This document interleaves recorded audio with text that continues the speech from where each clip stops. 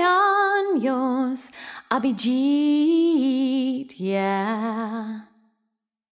One happy birthday dot com.